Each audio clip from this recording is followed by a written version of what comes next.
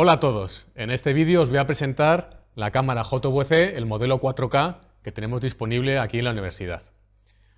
Para enseñaros lo básico de esta cámara, lo primero es enseñaros a que tenga una batería puesta en la parte trasera de la cámara.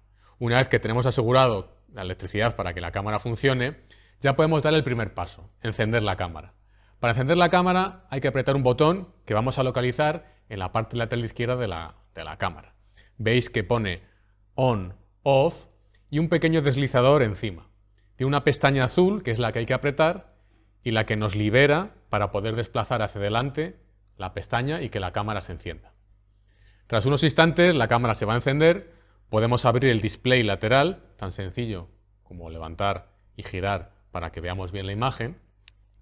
Este es el primer paso. El segundo paso que quiero destacaros es que esta cámara graba con unas tarjetas SD. Y las tarjetas SD no están por ninguna parte exterior, están en la parte interior.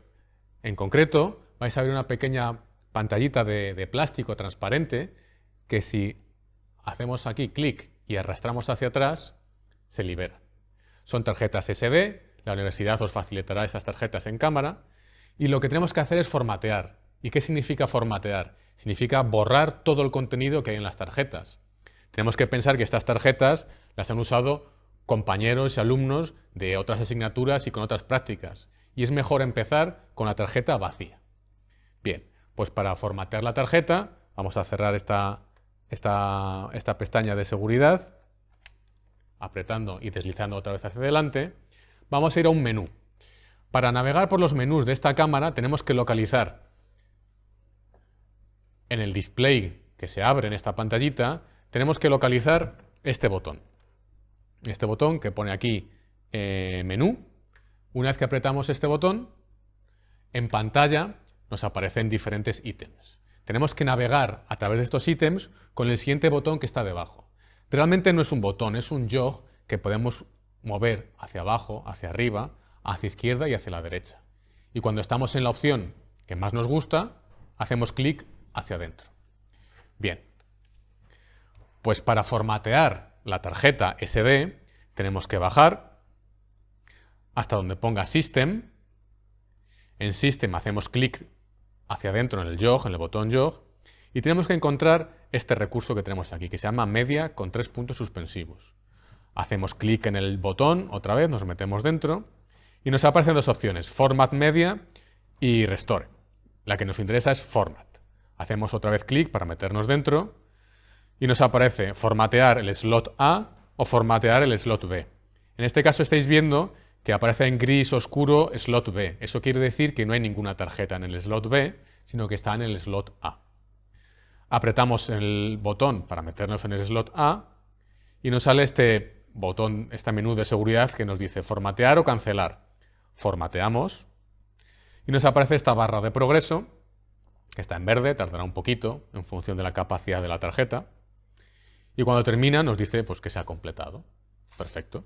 Eso es lo primero que tenemos que hacer. Encender la cámara y formatear la tarjeta. ¿De acuerdo? Lo siguiente que tenemos que hacer antes de empezar a grabar es decirle a la cámara que vamos a grabar en 1920 x 1080 25 imágenes por segundo, que es el estándar que usamos en Europa para estas grabaciones.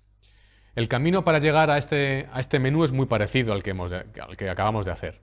Damos a menú otra vez, bajamos en el diálogo que nos aparece hasta donde nos sale sistema, system, y aquí en este caso nos quedamos donde pone record set.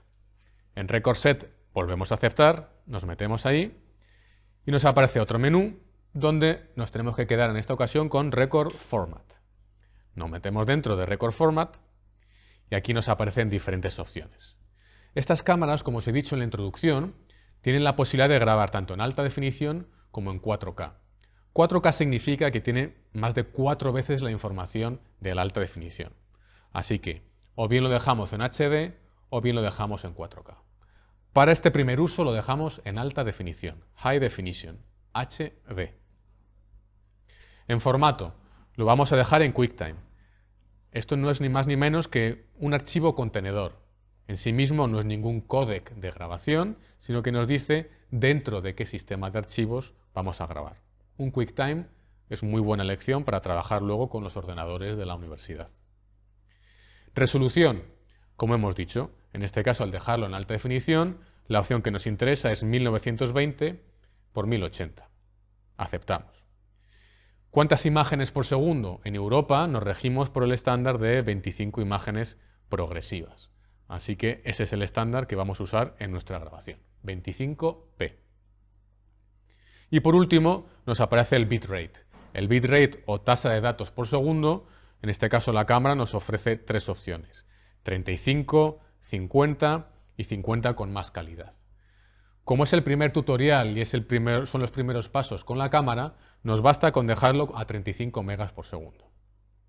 Aceptamos y ya para salirnos de todos estos botones, de todos estos eh, menús, le damos directamente a menú, nos, nos sale la opción de aplicar, aplicar, aceptamos, otro menú de diálogo donde nos aparece por favor espera, y no os asustéis, lo normal después de hacer esto es que la cámara se apague, se apague y se vuelva a encender sola. Esto nos va a llevar más o menos unos 20 o 30 segundos. Hay que pensar que la cámara se está autoconfigurando después de todos los ajustes que hemos hecho. Tras estos instantes, la cámara vuelve a estar operativa y ahora sí, con los menús y los ajustes que le hemos puesto.